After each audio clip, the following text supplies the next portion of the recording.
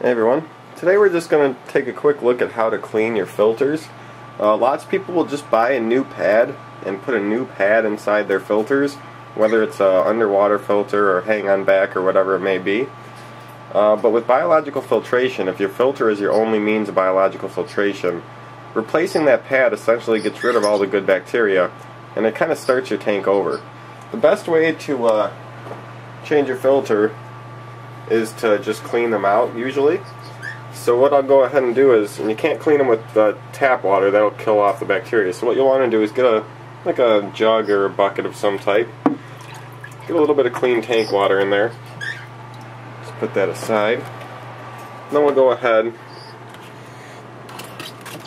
I've already unplugged my filter just so it doesn't shoot around right now. And actually I got to use two hands real quick. But I'm just going to be getting the filter in two parts here. Or do I pull it off the bottom? I think this one actually might fall off the bottom. It's stuck though. Just gonna take off the whole thing. It does come out the bottom though.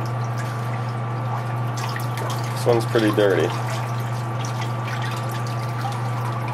So dirty I can't get it out of there. What I'm going to do actually is just take it to the bathroom and work on it there. Put the uh, whole filter into the thing here. I'll take that. This way it won't drip.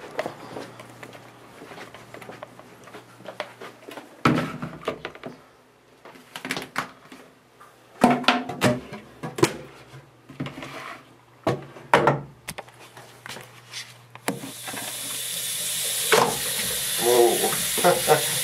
Close. I touched there a little bit, but you can rinse off any of the plastic housing with the sink water or the tap water.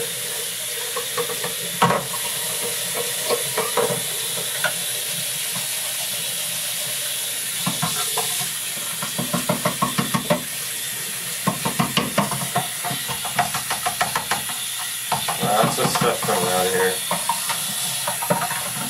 Alright, so I'll finish that up in a little bit. Um, so then what you're going to want to do here is, your filter pads on here, these are nasty from the turtle tank. But what I'm going to do is, just take out the filter pads, which are pretty disgusting,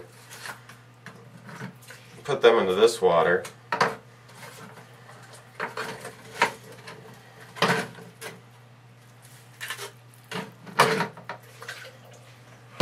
And now they're just in this tub.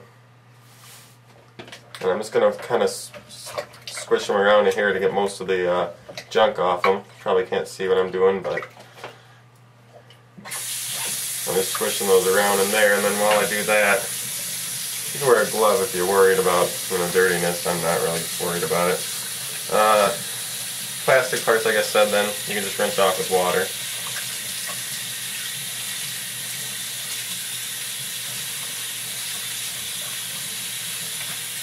Don't have to get them perfect, you just don't want them to be clogged up with anything.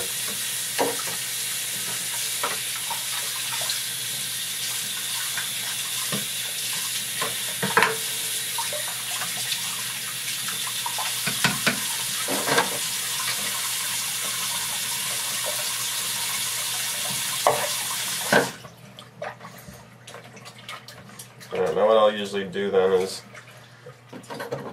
put the filter pads back in once they're pretty clean.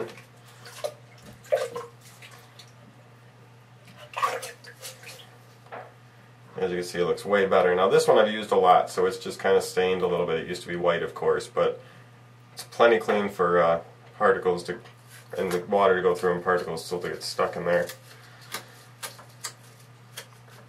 So don't clean that under regular tap water at all.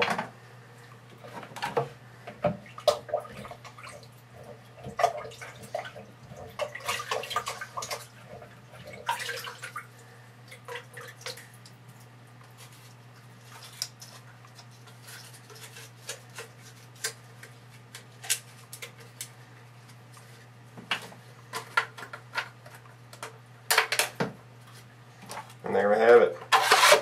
So that's how you kind of want to clean your filters. You don't want to clean off the actual filter pad if you're going to reuse it. some of those hang-on back filters you have to replace them sometimes, but some of them give you the option of using two filter pads. Lots of the newer ones have the option of dual filter pads. And uh, if you have the option of having two filter pads in your single hang-on back filter, just change one at a time. And then uh, you'll always have some beneficial bacteria there because you're only changing one at a time. So that's a good way to do it too. So anyways, just wanted to show you guys so you know a little bit more about how to change your filter or keep your bacteria, the good bacteria on there. So uh, happy fish keeping and see you guys later.